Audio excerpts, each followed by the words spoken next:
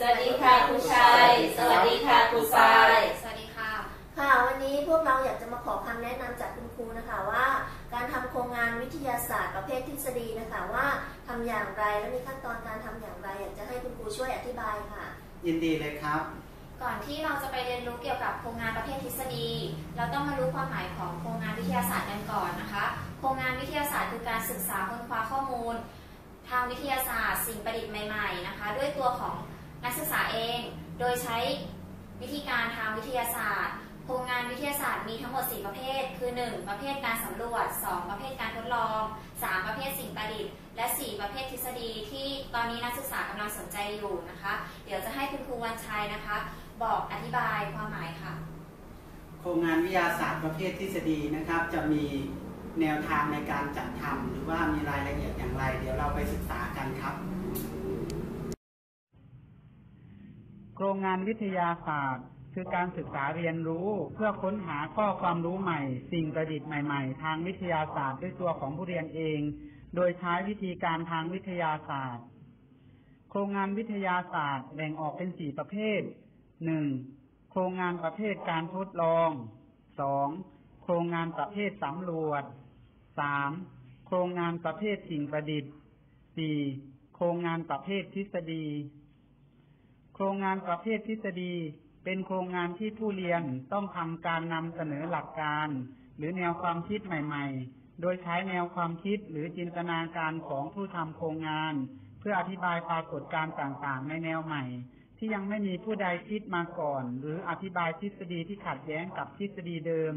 ที่มีอยู่ในวิชาวิทยาศาสตร์ อาจเป็นการเสนอทฤษฎีหรือหลักการขึ้นมาสนับสนุน หรือขัดแย้งกับแนวความคิดเดิม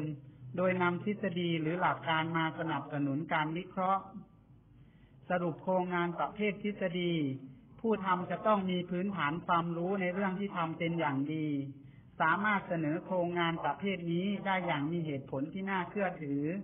ใช้หลักการทางวิทยาศาสตร์ หรือทฤษฎีสนับสนุน เสนอในรูปคำอธิบาย สูตร หรือสมการ ตัวอย่างโครงงานประเภทนี้ได้แก่ ครงงานการอธิบายอวกาศแนวใหม่ โครงงานกำเนิดของทวีปและมหาสมุทร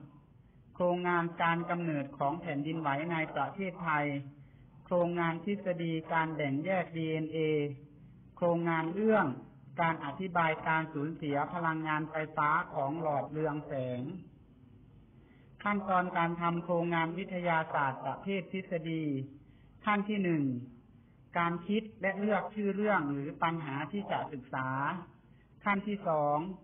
การวางแผนในการทำโครงงาน ขั้นที่สามการลงมือทำโครงงาน ขั้นที่สี่การเขียนรายงาน และขั้นที่ห้าการนำเสนอผลงานโครงงานวิทยาศาสตร์ ส่วนประกอบการเขียนรายงานโครงงานวิทยาศาสตร์ประเภททฤษฎี ส่วนนำประกอบไปด้วย หน้าอก กิจกรรมประกาศ สารบัญและบทคัดย่อ ส่วนเนื้อหา แบ่งเป็นห้าบทดังนี้ บทที่หนึ่งบทนำบทที่สองทฤษฎีและหลักการที่เกี่ยวข้อง บทที่สามวิธีดำเนินการศึกษา บทที่สี่ผลการวิเคราะห์ข้อมูล บทที่ห้าสรุปผลการศึกษา อภิปรายและข้อเสนอแนะ ส่วนอ้างอิง เป็นส่วนที่เกี่ยวข้องกับบรรณานุกรม หรือเอกสารอ้างอิงและภาพผนวกการเขียนรายงานโครงงานวิทยาศาสตร์ประเภททฤษฎี บทที่หนึ่งบทนำประกอบไปด้วยที่มาและความสำคัญ จุดมุ่งหมายของการศึกษา ขอบเขตของการศึกษาค้นคว้า สมมุติฐานของการศึกษา และข้อตกลงเบื้องต้น และศัพท์ที่ใช้ในการศึกษา บทที่สองเอกสารที่เกี่ยวข้อง เป็นการอ้างอิงหรือกล่าวถึงข้อมูล ซึ่งเป็นเรื่องที่เกี่ยวข้องกับเรื่องที่เรากำลังจะศึกษา บทที่สามวิธีการทดลอง ในบทนี้จะต้องแสดงวิธีการทดลองอย่างละเอียดว่า เรามีขั้นตอนการดำเนินงานอย่างไร และขั้นตอนเหล่านั้นเราปฏิบัติอย่างไร บทที่สี่ผลการทดลอง ผลการศึกษาค้นคว้า ต้องแสดงผลการศึกษาค้นคว้าจากบทที่สาม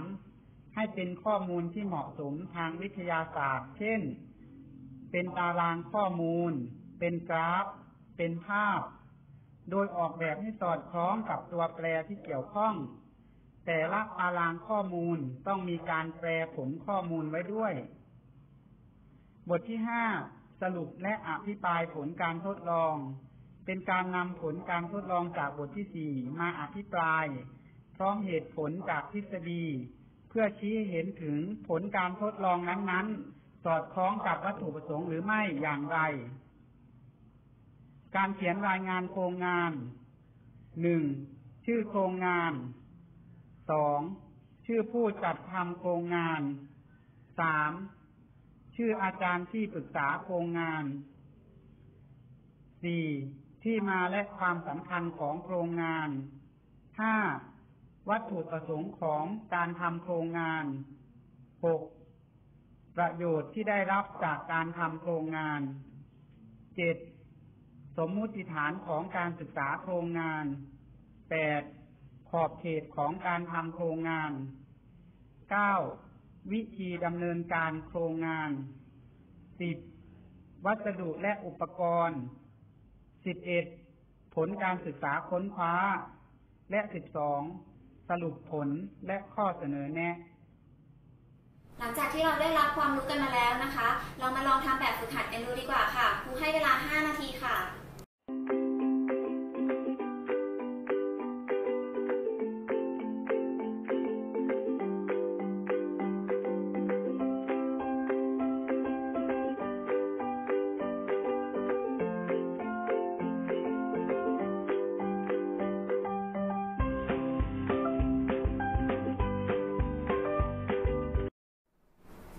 เป็นยังไงกันบ้างครับ นักศึกษาโครงงานวิทยาศาสตร์ประเภททฤษฎีเข้าใจกันไหมครับ มีข้อสงสัยตรงไหนที่จะสอบถามคุณครูเพิ่มไหมครับ